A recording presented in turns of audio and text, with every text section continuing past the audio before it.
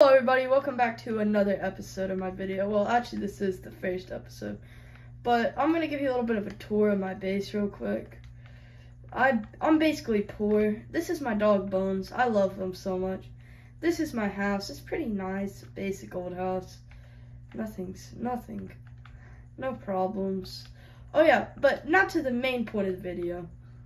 I'm going to be summoning Herobrine today. Oh yeah, I have an E crystal because I just went to the end. It's pretty cool though. Yeah, I got my first ever E crystal.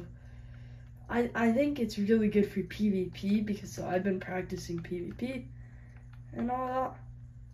But yeah, I thought I saw something for a second. I must be imagining. Two, three, one, two, three. This is the summoning platform for him. Apparently, like, you have to do this for it to do. I don't believe that it's actually going to summon him. Because I don't believe in... I don't believe in Herobrine. Alright, let's see if it works. Slumma Lama Chicken Mama. Oh! It actually worked. No, no, no. Please, please, no. No. Ah! I'm gonna die. No.